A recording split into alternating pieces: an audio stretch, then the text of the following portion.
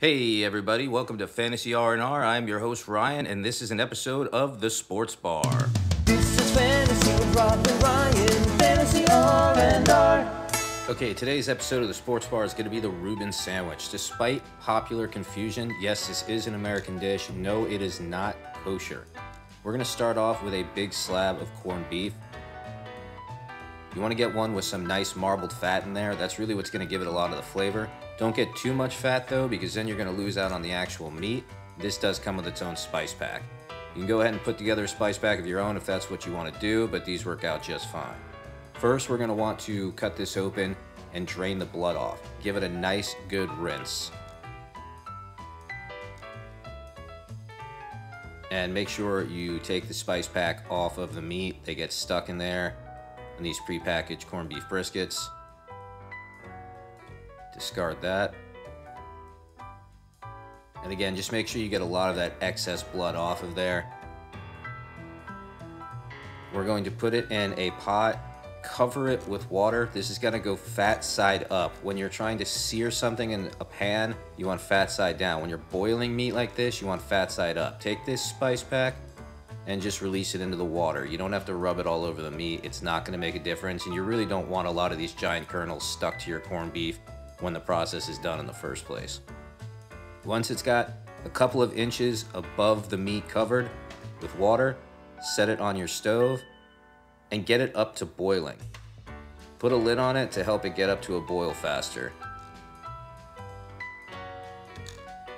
When it's up to a boil, you actually want to turn it down to a light simmer. You don't want to boil the crap out of the meat. You want it to look more like this. Give it a nice long, slow cook. Let it sit for about three hours.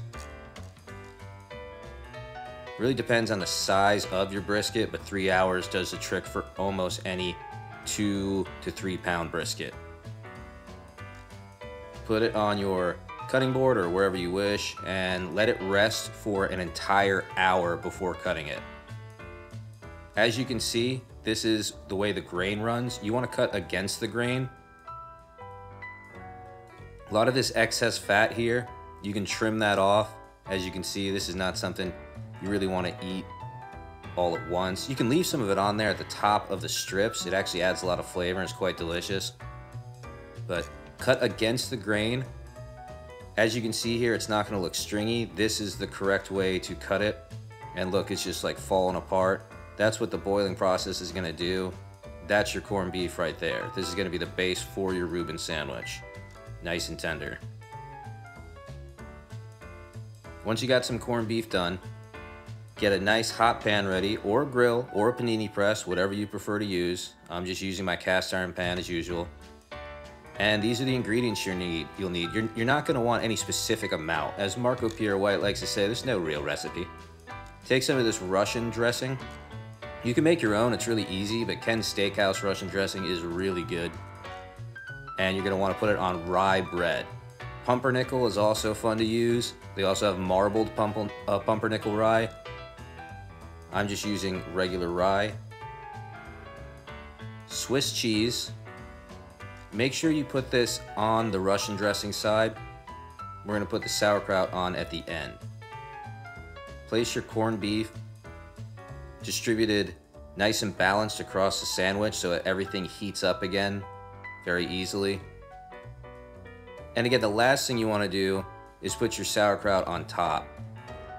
You can drain it out if you want first, that helps, but regardless, you never want to put the sauce and the sauerkraut on the same side of the bread. The moisture from the sauerkraut will release into the dressing and ruin the consistency of the dressing, and you'll get a real drippy mess.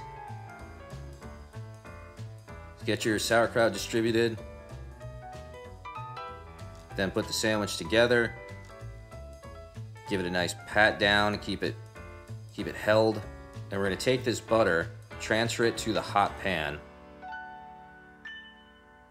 And it's gonna be kind of like we're making a grilled cheese, where we're gonna press down on both sides of the sandwich.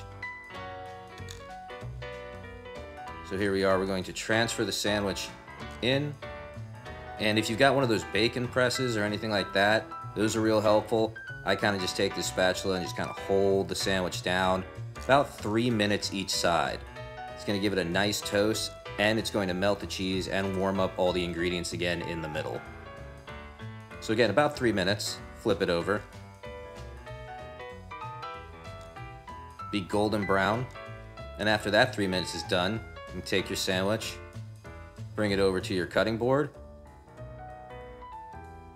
And here I also just like to do a little bias cut just to make it look fancy. And those Trappey's peppers you saw before, those are spicy vinegar peppers. I just use that as a garnish with a toothpick. That's your Reuben right there. And you can place it on your sandwich. Place your sandwich on your plate. Nice and pretty. Put those Trappey peppers in there. And you are all done. Give you a close-up look of this Reuben sandwich. This is absolutely delicious for game day. And I hope you like it. And that's it. That was another episode of the Sports Bar. Once again, my name is Ryan. We will see you next time for Fantasy R&R.